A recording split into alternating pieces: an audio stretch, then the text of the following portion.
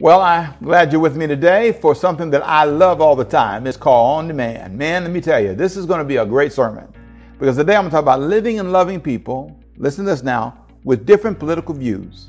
How do you live with and love people who don't think like you? And some of you say, well, I don't agree with that, Pastor Rick. I think everybody needs to agree with me because I'm, a problem, I'm a Republican. And if truly godly people are always Republicans, it's them liberals. And then the Democrats say the same thing about you. Oh boy, how can you be a Republican? Well, in history, both have been off at some point in their life.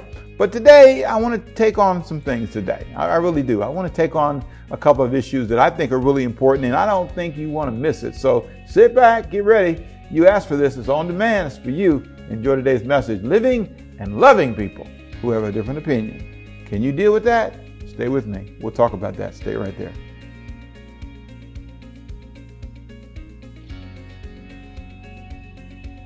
I'm going to talk today about voting and politics, but I want to specifically deal with one simple question. What is your plan for dealing with people that don't agree with you? What do you plan to do after you've laid out your speech, you've laid out your plans, and somebody says, I don't agree? In voting in politics, that's often common. But I think that sometimes we're not prepared for that especially Christians. Sometimes we, you know, we feel like, you know, the Lord gave us a word, and some of you are so fixed on what you believe in this area. And you've got a couple of Bible verses you feel fit, and you've got a couple of, you know, convictions and some big hard issues that you stand on. Abortion's one of them, gay rights is one of them, all these other things. And I'm going to talk about a lot of that today. Bearing arms, some of you have that's your issue.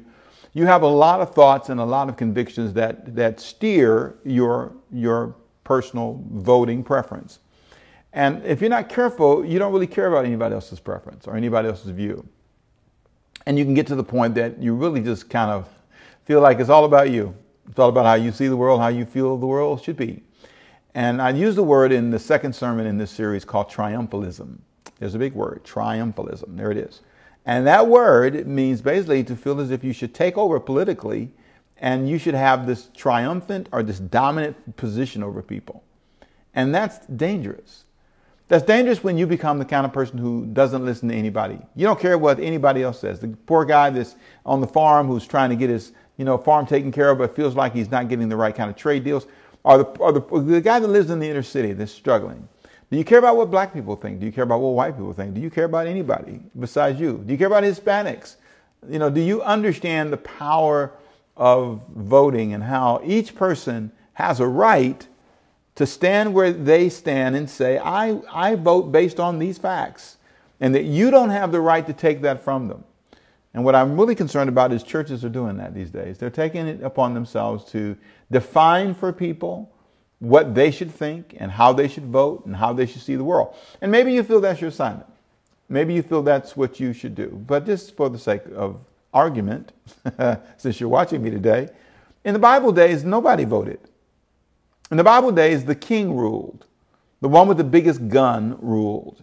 No democracy, no voting rights, no woman women rights. Slavery was common everywhere. It was a mess, and it wasn't God's best plan. America's a big experiment. I talked about that in the first sermon. You might want to go back and listen to the first sermon in this series. Now I talked about our history in 1776, how that all of a sudden now you had this new governing policy, something that was different than anything they experienced in England. Now they had this new ability, this new responsibility to choose. But the problem was they didn't choose fairly. They didn't give women rights for 144 years. They didn't give blacks rights. They put them in slavery. And that's not right. That's not friendly.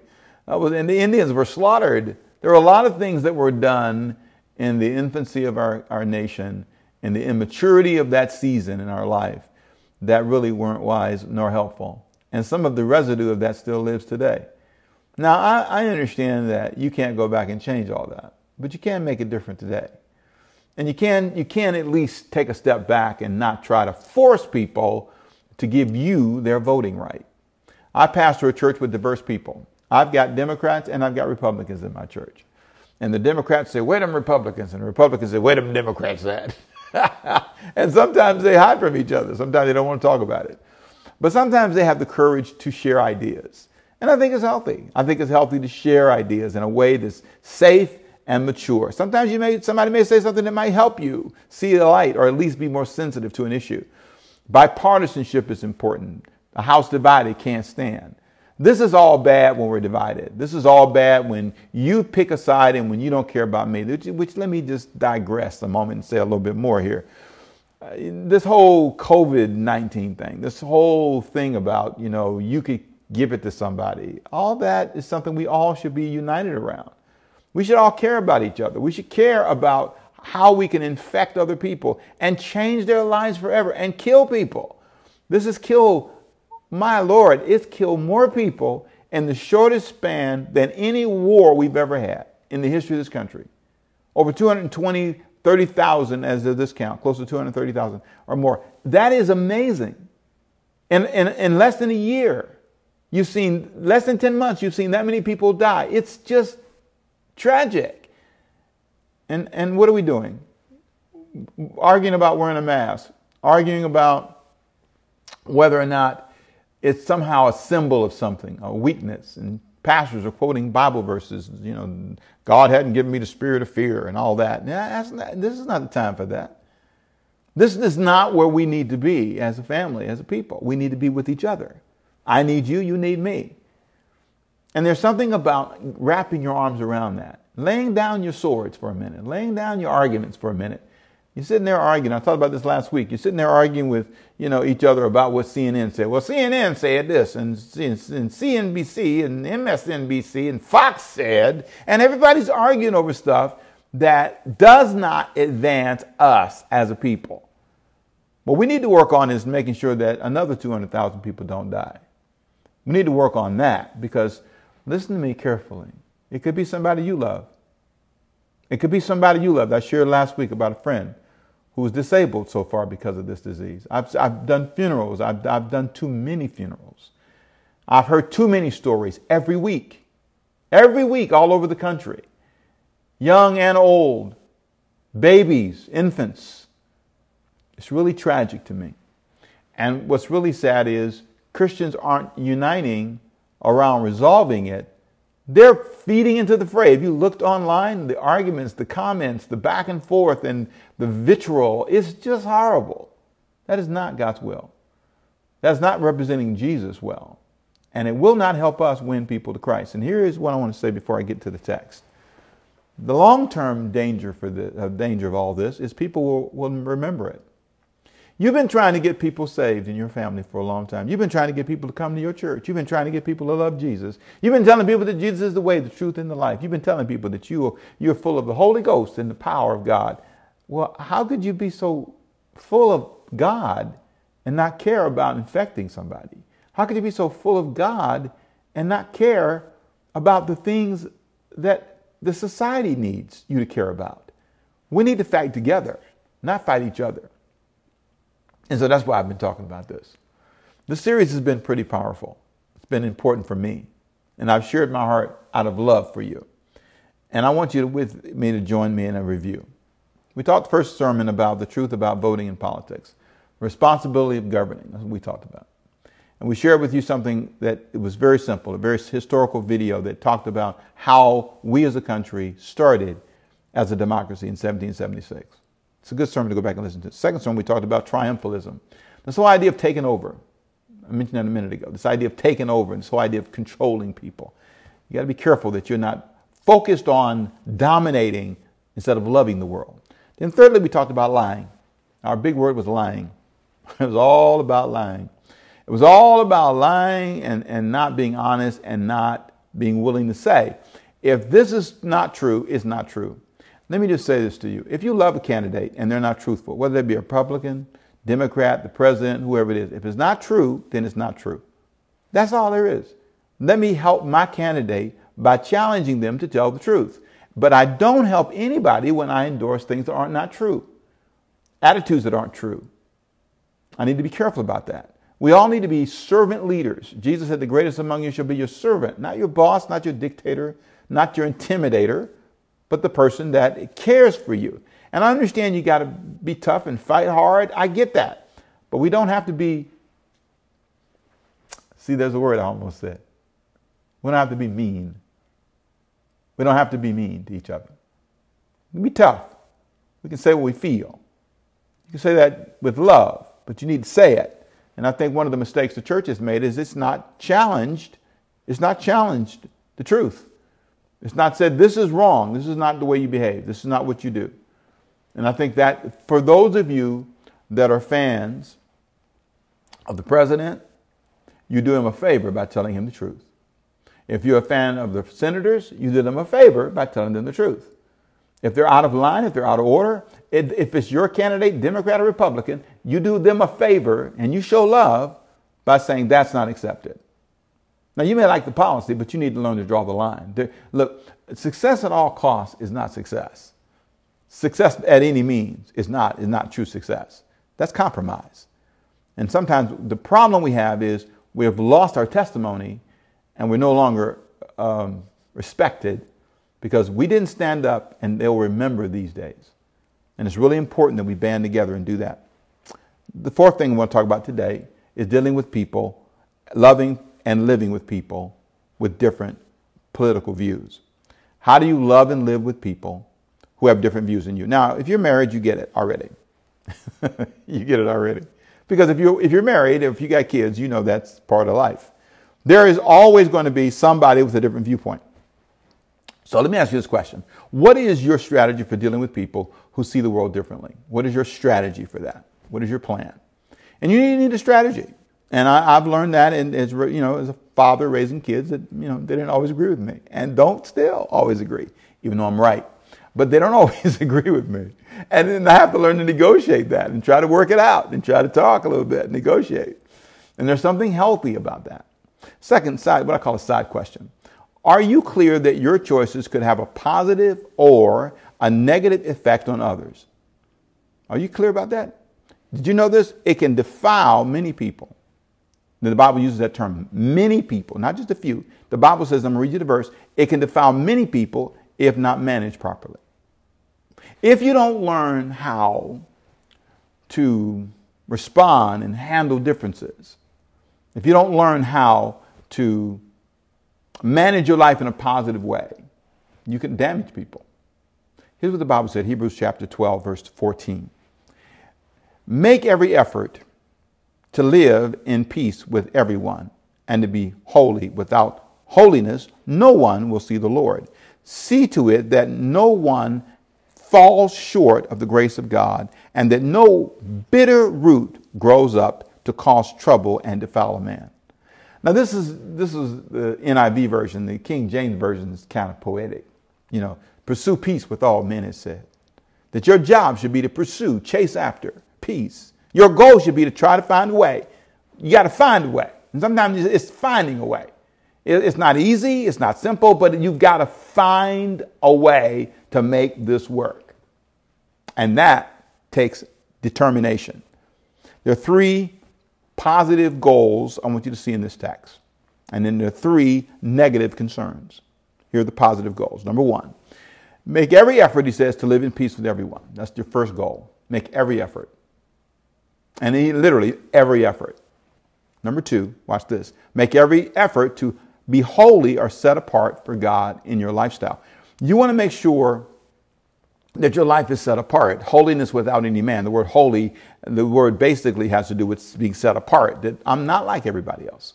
Be different. Be different than those your, on your job who are entering in all this bitter bickering. Be different. Be set apart. Thirdly, Make every effort to not defile others because of the eternal consequences. Don't you allow yourself to, to do that.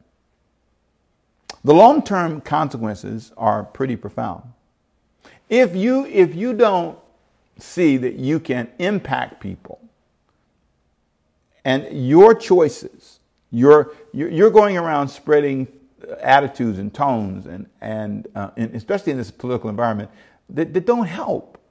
It's, it, it's, it's one thing to disagree, it's nothing to be um, just absolutely toxic and poisonous in your attitude.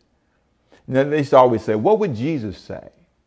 Jesus disagreed with people. Well, wait a minute, Pastor Rick. Now he turned the tables over. He told them they were snakes and vipers. Yeah, he did. He did. There's a time for that. But that wasn't his norm. This is becoming the norm. This is becoming in every verse in your life, in every chapter of your communication. You can pull out one chapter here and one chapter there, and there were unique moments when that was necessary. But what was powerful was he was telling the truth to people that were leaders. If you want to use that, remember it. He told people who were leaders that they were out of line. He told people that were leaders. He didn't, he didn't let them get away with the way they treated people and the way they treated the poor. He didn't let them get away with it. He didn't let them get away with name calling. He didn't. He challenged them. He says, you, you say one thing, but don't do what you say. And that is the kind of accountability that, that we need to embrace for all parties. Everybody needs to be held to that same standard. Now, there are three negative concerns he mentioned. That some will fall short of the glory of God, which means you won't represent God well. Secondly, some could develop a bitter root. There's a, the King James says it this way a root of bitterness. That there could be this thing about you that's just bitter and hostile. And now you can't even say Democrat. Democrat. Them Democrats. Look at you. With your saved, Holy Ghost filled, full of love of Jesus' self. It's just so you can know your love. You know, you remember 1 Corinthians 13. You can you can have great gifts and great talents and all of that, but have not love. You are a sounding brass and a tinkling cymbal. Remember that? It's in the Bible, right? Mm-hmm. The, the, the way we're communicating, the way we're behaving, is way outside of the bounds of love, and it's infectious. Brings me to the next point: that this could become dangerous some could ignore the warnings and defile, he said, many. COVID 19 is an example of this. COVID 19 has given us a new meaning.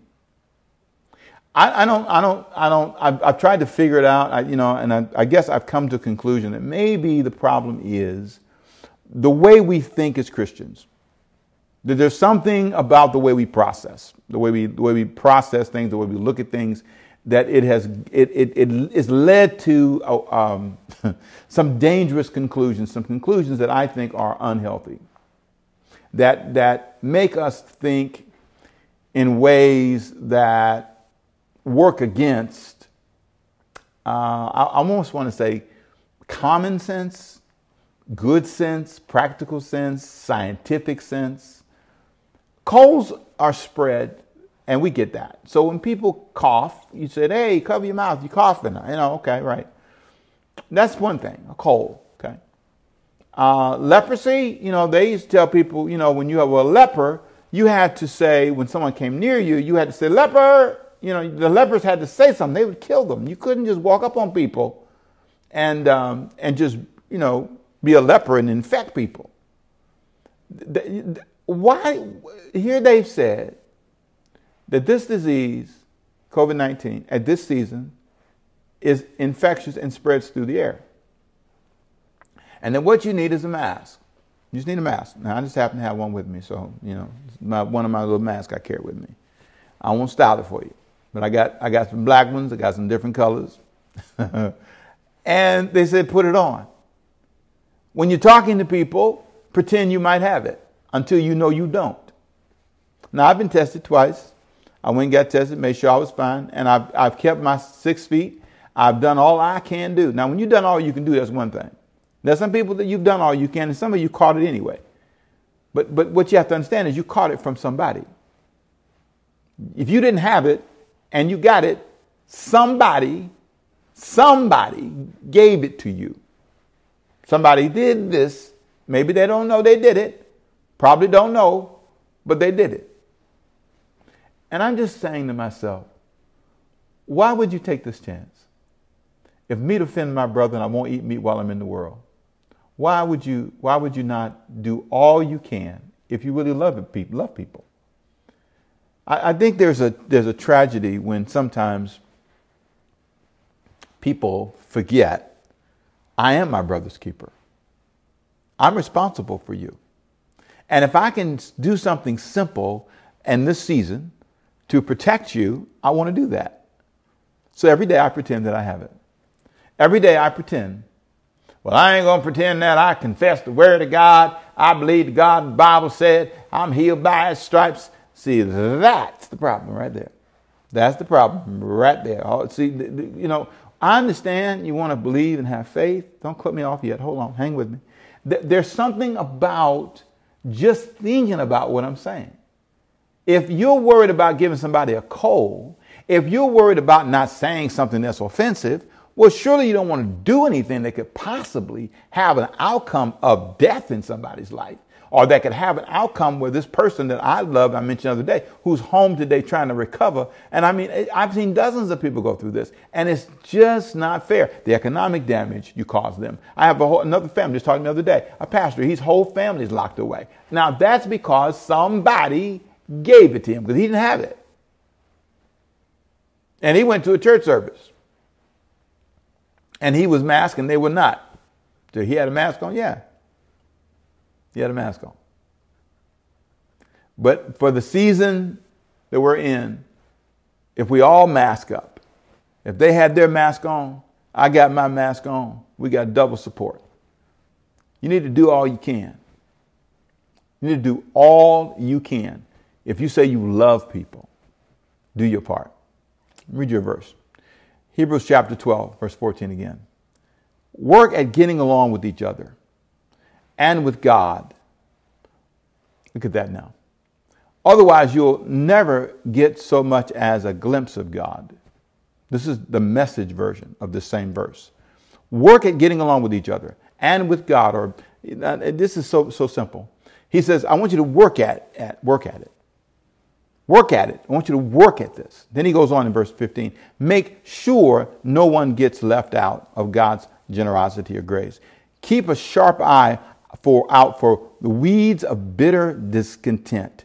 A thistle or two gone to seed can ruin a whole garden in no time. One little weed can spread all over the place. That's what he's saying. What I'm saying is simple today. It's not complicated, but it often gets lost. It gets lost because somehow we've allowed people to make us feel angry and bitter. And I'm not judging you and saying you're a bad person. I'm simply saying, if I love you, I do all I can to protect you because I care about you. The Good Samaritan, remember that? I try to, I try to just show concern.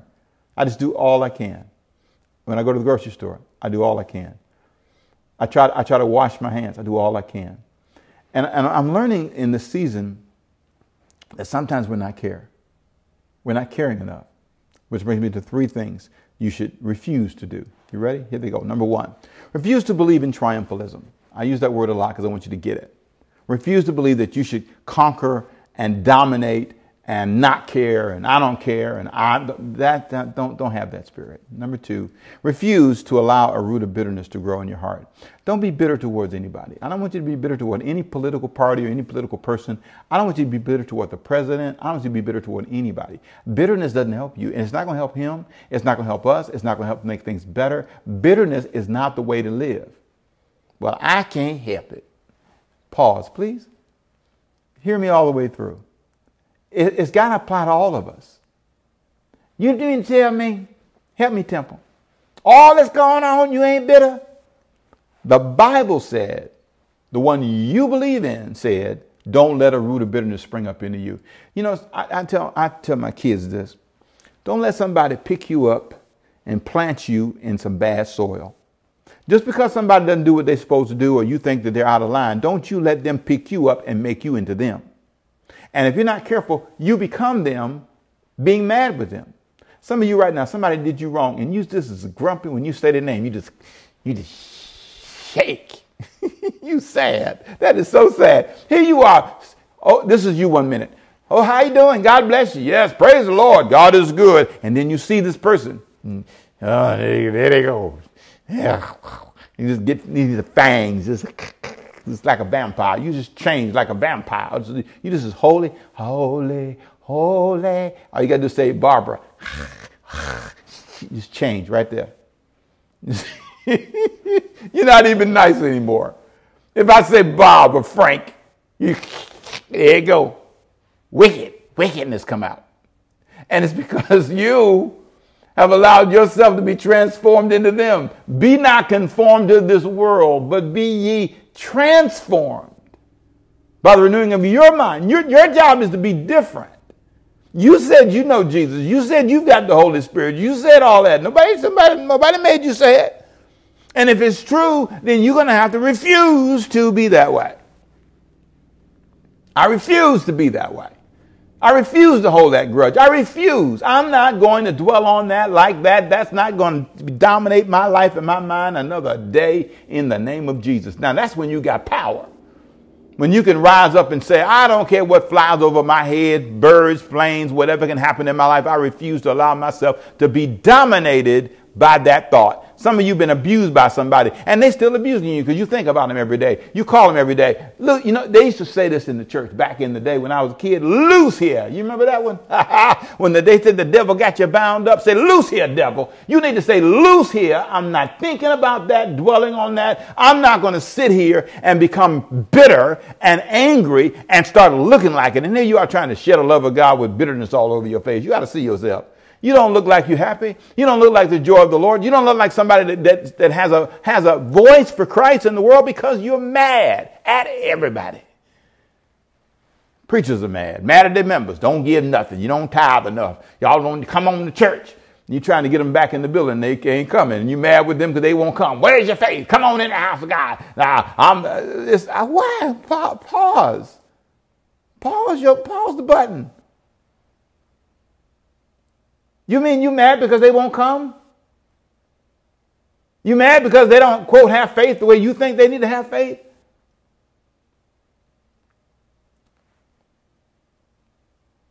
I had to pause there, see.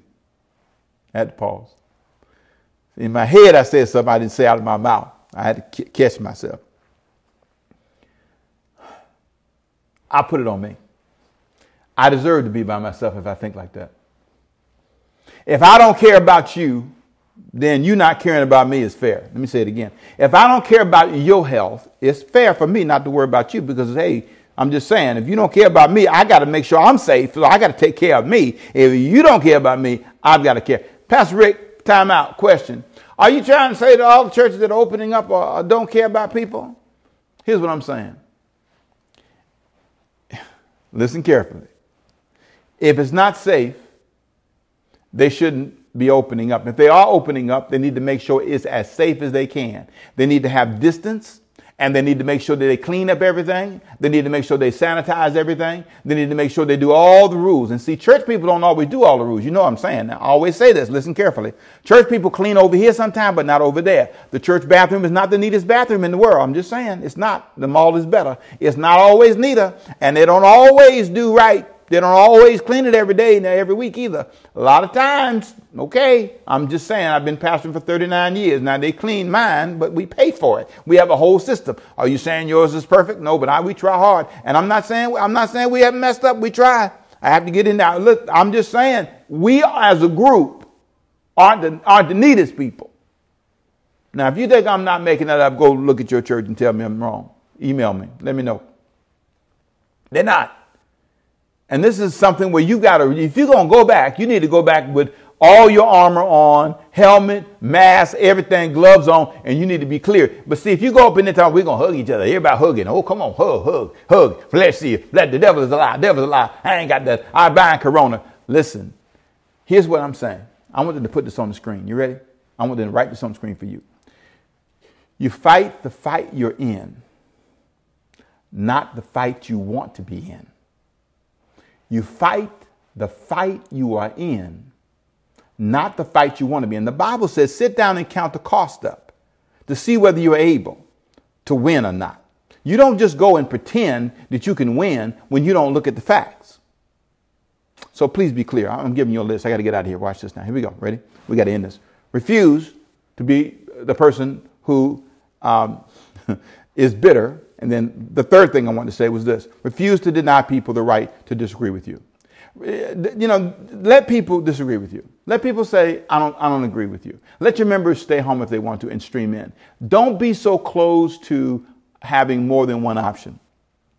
Now, I've got a question for you.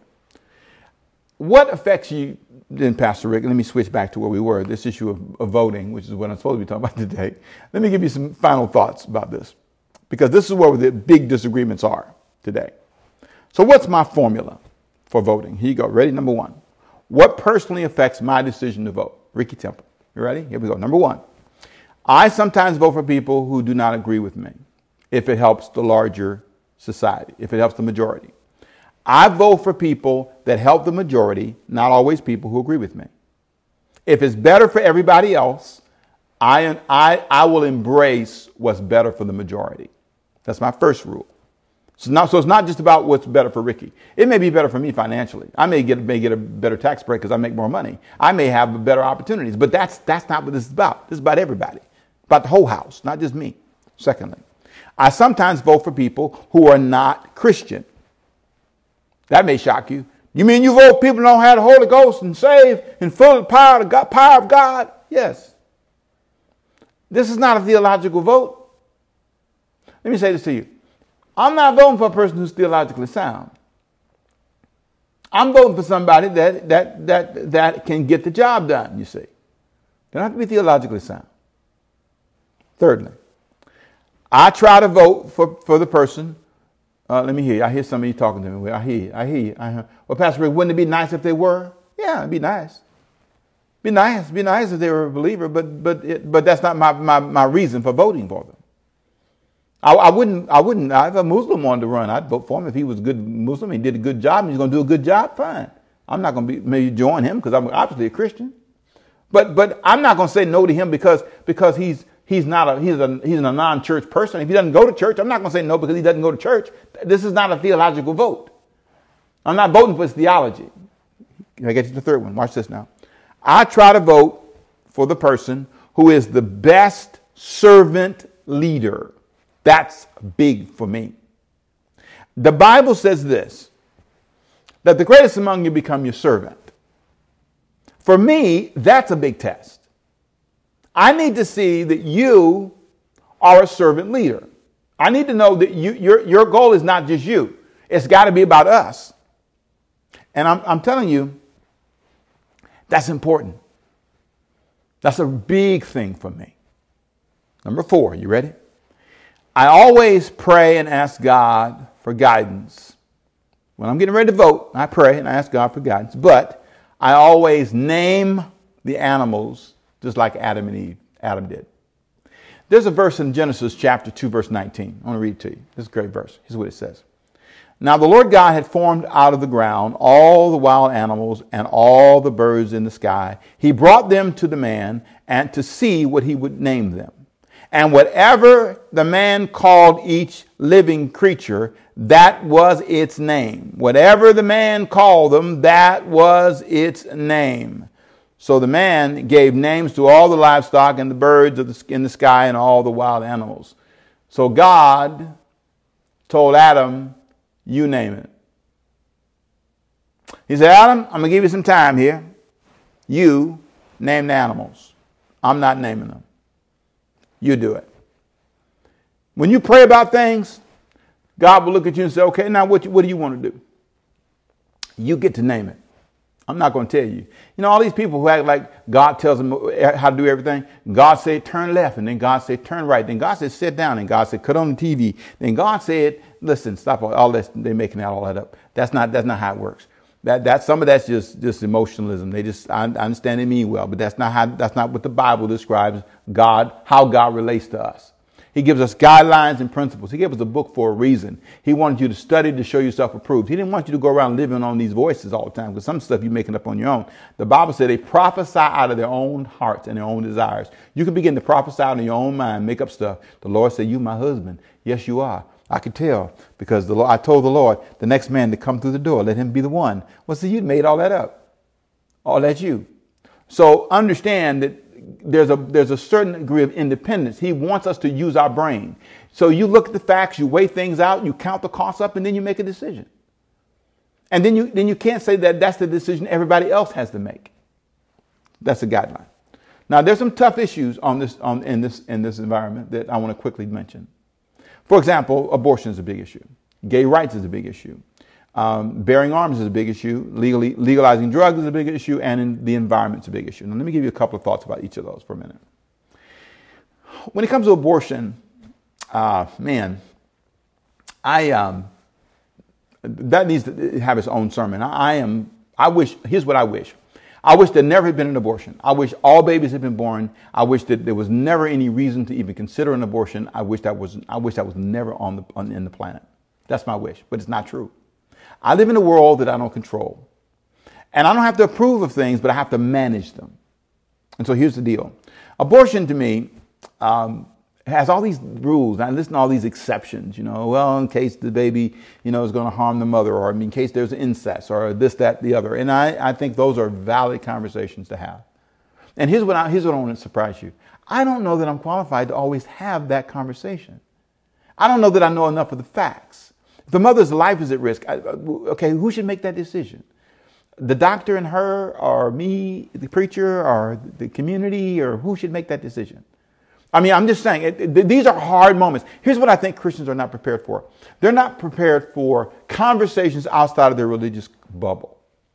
The, the, the, person who's the governor, the mayor, the, the judge, the, the individual who's in government, that person has to make decisions outside of a religious bubble.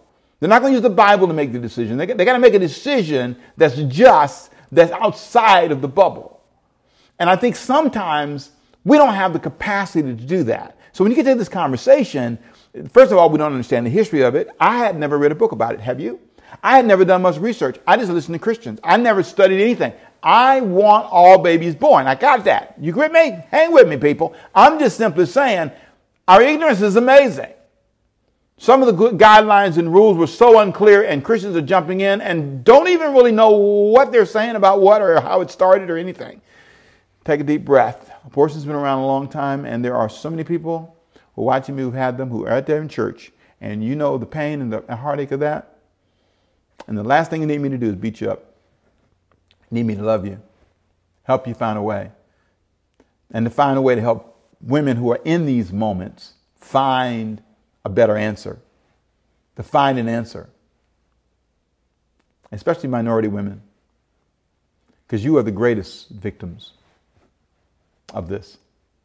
The percentage of women of color who have abortions is way surpassing that of women who are not of color. breaks my heart. But here's what I think the big problem is we fight so much, we don't try to help anybody. And we're not going to try to help anybody. So you're not giving me my answer. Well, here's my answer. We need to band together and not pound on people who won't agree with us. And I want to say this too. I don't just want to talk about aborting babies. I want to talk about aborting teenagers. I want to talk about aborting people of all ages.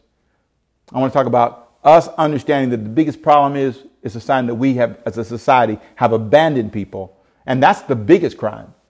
The abortion rate has climbed higher when there's poor health care. It's climbed higher when there's no family support. It's climbed higher when women are by themselves. It's climbed higher when we tell them in a video to have sex and to roll around all they want. And then when they get pregnant, we abandon them.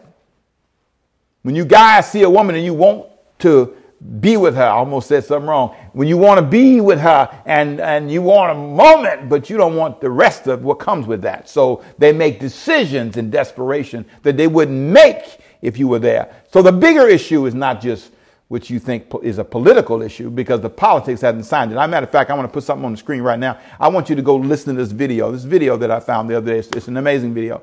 And in this video, it has right there on the screen, and you can find this video on my website uh, and I'm, I'm really committed. matter of fact, let me give you a little clue. There's a place called rickytemple.com. You ready? rickytemple.com. Okay. And in rickytemple.com, there's articles. So if you go to rickytemple.com articles, got that? rickytemple.com articles. And if you go there under articles, there's an area called abortion. I, I alphabetize all these articles that I read. I don't agree with all of them, but I list them. So it's going to be there forever. So under abortion, there's a video there. And that video will talk about abortion in one of them, and I'll say special video, I'll put a name by it. So you can go see it. Ricky Temple articles, Google that, Ricky Temple articles, look under abortions, and you'll see the special video on abortion. And that will give you a clue. You can go there and find it. It's also going to be on Facebook, it's going to be on, on a number of different uh, uh, tools that we have. And the goal of that video is to just explain another side to abortion. And it's interesting. It's an interesting discussion. Christians, you'll really enjoy it. So go check it out. Now, let me get back to the rest of this. Number two, gay rights. How, how I engage people. How do I engage people who have same sex appetites? What do you do? I don't know that we know how to deal with that, honestly. I think Christians are just so incredibly dishonest about that. You got people that you know, your cousin, your nephew, your friend. Uh, some of you have been through that journey and you act like you don't have any clue. Here's what you need to do. Love people and move forward. You, but you don't get to control. We don't get to control everybody. We don't get to dominate everybody. I can't make a guy not be to be straight if he wants to be gay. And I have to love him. I work with him. He's my boss. He's my neighbor. He may be my employee. And, and churches sometimes, the way we communicate, we act like we have no formula for dealing with people. Remember the whole sermon? How am I going to engage people who are different than me? How am I going to love people who are different than me? That's the whole sermon. Third, th- third area, bearing arms. Does my right to carry a gun uh, have boundaries? Hopefully. Maybe we can look at that if we band together. Again, this whole conversation, we can't make sense. So we can't even talk about it. Bearing arms is something we should be able to talk about. We should find boundaries. Should, should there be boundaries? We should be able to talk about that. Fourthly, legalize drugs. What's the best plan for this whole issue? Where we don't entrap people and get more people addicted. There's something really dangerous about this whole attitude. The, the, the season of prohibition in America was in 1920 to 1933. I want to put something on the screen. I want you to see this. This was interesting of this prohibition period. Prohibition era, 1920 to 1933, made the manufacturing, sale, and transport of alcohol illegal in the United States according to the 18th Amendment. So it was this whole plan to stop people from drinking, and it didn't work. So we've got to find a way to get this to work. I don't want to legalize anything. I don't want to drink anything. Let me tell you something. I don't drink because I like it. I'm telling you now. I've seen it in my family. It ain't good for me. I ain't drinking nothing. I ain't smoking nothing either. I, don't, I can't, can't, can't smoke anything. That didn't work. I smoked one time. I was a teenager. They said, Temple, we was walking down the street. Temple, you ever, you smoke? I said, I, I, lied. I said, oh, yes, I was a teenager. I said, sure, of course I was And They gave it to me and I, I did that. That was it. That was my whole drug career right there. Bam. no more drugs. That was it. I tried smoking one time in the movies and I got sick as a dog. Oh my God, I never want to do that again. So I just wasn't good at all that. Some of you are professionals. You're good enough for me and you. But my point is, we got to talk about it in a way that, that doesn't entrap people, and we got to have big, board conversations. But see, this is not a church conversation because church people have in, out, holy, unholy, saved, unsaved, heaven, hell. Everything is one, two, three. It does not know three. It's one and two. And so we tend to not be able to embrace conversations with people. We're not good at that. Not at all.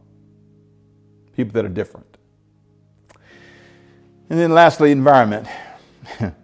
you know, God told Adam, you know, this is the world, you need, you need to take care of it.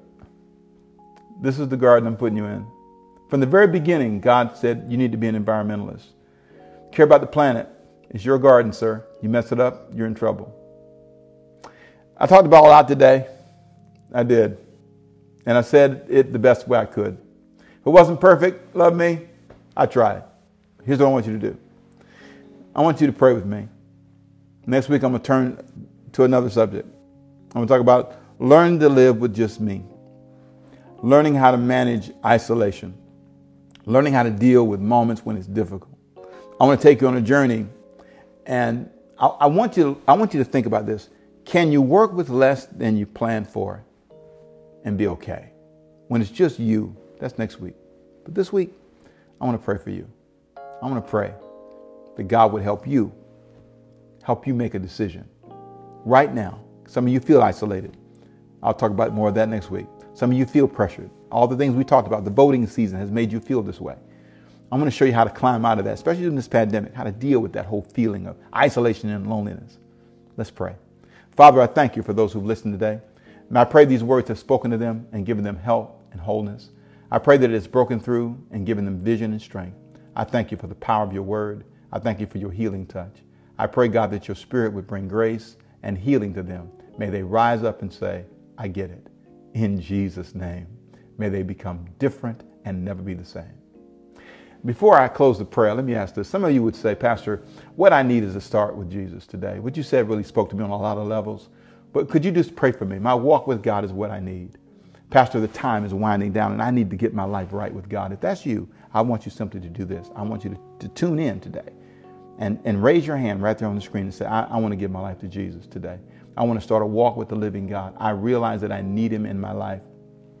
And I want you to pray for me. Right there on your device, some of you, there's a hand you can raise that would say, Yes, that's me, Pastor. And some of you can type it in the chat, Yeah, pray for me, Pastor.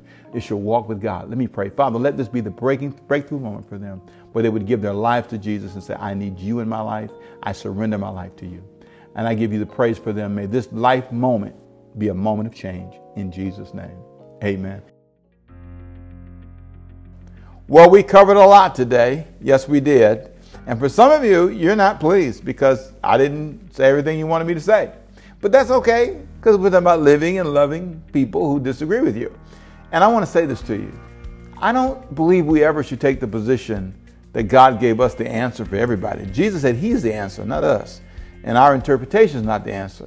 And how we apply things doesn't make it right. We have to learn to embrace truth. There are a lot of good people who are watching me today. You've made some decisions, abortion decisions, and those decisions don't make everybody happy, and it don't even make you happy.